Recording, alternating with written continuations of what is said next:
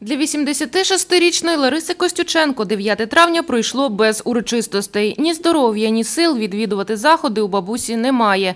Та й до неї ніхто цього дня з вітальними словами та квітами не приходив. Хоч Лариса Олександрівна і є однією з тих, хто цю святу перемогу над безщадним та могутнім ворогом наближав як міг. І коровами орали вночі, запрягали, ми ходили. І на полі робили. Я знаю, як було важко, і що яка ця перемога була дійсно, що треба дякувати, що ми поставали живі. Лариса Олександрівна – трудівниця тилу. У 41-му їй було всього 11. Вона пам'ятає і страшні загарблення нацистів, і те, якими покаліченими повертались з фронту радянські воїни. День перемоги – головне свято її життя, яке останні чотири роки вона проводить на самоті, переглядаючи фільми про війну. Я як дивлюся це про війну, я це все бачила, це все. е, То я не можу. Вчора сиділа, дивилася і плакала. Вже багато років поспіль бабуся бореться за благоустрій біля її дому, який знаходиться по вулиці Сосновського, 4. Свій двір Лариса Олександрівна називає міським туалетом, де користенці справляють потребу прямо під її вікнами.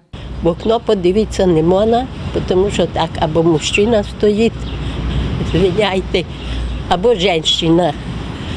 Погіршилась ситуація з появою цього кіоску, за який так і норовлять сховатись ті, кому закортіло. З того боку зробили ларка. Не знаємо, чи його. З ларок йдуть, там же страх. Дихати немає чим. Просить звернути увагу бабуся ветеран і на паркан під будинком. Напівзалізний, напівдерев'яний, матеріали БУ з'єднані аби як. Аби це чудо взагалі з'явилось, Лариса Олександрівна заплатила з власної кишені 100 гривень. Вона сподівалась, що таким чином відгородить свої вікна від хуліганів, однак марно. І стукають в окна, і, плюють, і, і що хочете. А тут Ландиш у мене он там рос. Прийшов серед білого дня залізе. Я кажу, що вже кажу, нарви, да хоч не топчи. То воно мені дулю показало.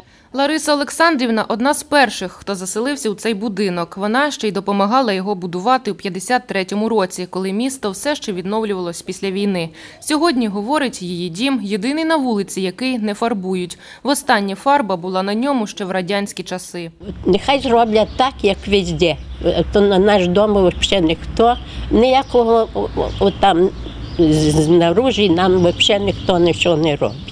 Вже багато років мешканці цього будинку звертаються до відповідних установ, аби їхній будинок пофарбували, поставили паркан, привезли землі для клумби, встановили лаву. Їхні прохання або ігноруються, або виконуються аби як.